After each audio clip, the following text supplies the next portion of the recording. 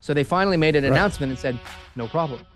No problem. People who are refinancing and switching banks will now be allowed to uh, avoid the stress test. Avoid the stress test, which is such a beautiful thing. Let's talk about the stress test, right? I mean, How we were all- that? we've been all talking about the stress tests being uh, no longer necessary because when the stress test was implemented back in 2017, interest rates were a lot lower than they are right now, considerably, yeah. and that they were trying to prevent uh, borrowers from taking on too much um, debt that they can't service later on when interest rates did go up. Now, Sure. They used that stress test and it failed miserably. Everyone took on way too much debt, anyways. It didn't matter what the heck the stress test was at.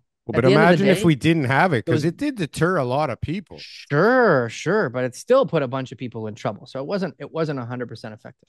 No. Then interest rates came down and we were like, "Hey, you know, why do we still need this stress test?" And we were like, "What about the people who are just trying to renew their mortgage? Can't they access their equity?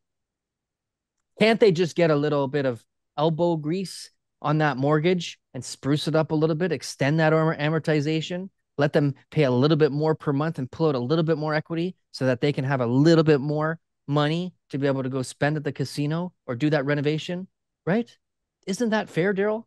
It doesn't. Does that jack up house prices? Is that what's happening? No, but that's what we were talking about. Huh. When it came to the stress test, we were we were saying, okay, fine. If we're not going to remove it for borrowers, then we're going to do it for people who are refinancing. So they finally made an Right. announcement and said, no problem. No problem. People who are refinancing and switching banks will now be allowed to uh, avoid the stress test. Avoid the stress test, which is such a beautiful thing.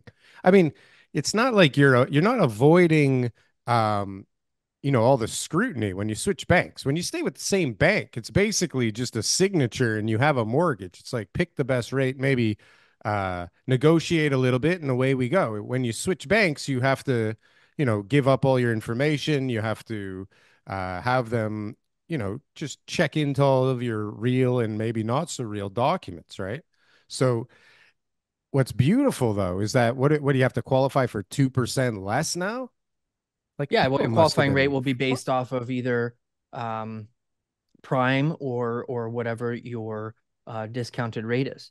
But here's the issue, though. Okay, so the issue becomes um, how much you can actually pull out because you still have to keep the same amortization schedule. Why? Why do you have to pull out? Right. What if you're just trying to get the same? Aren't you just trying to get the same amount of money you already have?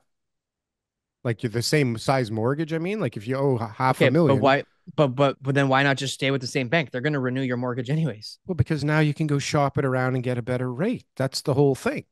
Okay, Right. But like, how much of a better rate are you getting? I don't know, but half a point makes a big fucking difference. But does this really solve anybody's issues overall? What happens if someone's Yeah, in real trouble and they need to pull out a bunch of equity and they're like, listen, Well, they I might be able to do that too. I don't know how I, I signed a 25 year mortgage and now I'm at 20, but I want to go up to a 30, pull up a bunch of equity and to be able to like, you know, get get myself back on track or you know, Yeah. who knows what it is. Well, let's be So- real. I mean, if they haven't thought of that yet, they'll figure out a way to make that possible and make that Right. happen because they have to qualify like with the stress test still, you know? still with and the so- stress. test? Yeah, you still have to deal with the stress test if you're going to make those changes. So I feel like it's kind of like a, uh, a positive for some people, just Yeah. like how those other changes were uh, increasing the CMHC um, maximum insured uh, mortgage amount uh, was, but it's a really small part of the population. A really but it's small part of the gonna, like, population is going to benefit from this. But there's a lot of people that were probably looking at a refinance and they had to qualify with that stupid stress test. And they were like, holy shit, I'm not actually going to qualify for this thing. I'm going to have to sell my house. And so, a no, the of- bank was going to your bank was going to renew with you anyways. I don't know Renew anybody anyway. ever at the end of their term who whose bank did not renew. It was just you're right. They had to take a higher rate. yeah, higher rate And that so they now- couldn't fucking afford. Now the banks are making it more competitive, which is what it is. This is all just about competition and keeping in the spirit of like, hey, you know what? We don't want to have a monopoly here. We want to make sure that people have options. That's why we have uh-huh. those five banks, right? No, this is this is in order to allow more people to spend more money in the market and to keep the damn thing going, isn't it? Doesn't it just help keep No. the wheels moving? It's it's to prevent people from having to sell. So it's about it's, Right, it's there to prevent people from having to put their house on the market and Fire sales and fucking up the sell. right? pricing Because in the maybe they'll still be able to qualify and the bank will give them the mortgage, but it ends up, you know, I think it helps too put a money floor on this market. I think it helps Yeah. push prices up, just like all this other. whoa, whoa, Darryl, slow down. Like, comment, and subscribe if you got anything from one of these clips. And if you want to see some more, press something on the screen here. Boom. That was good. That was good. That I like that. That was good.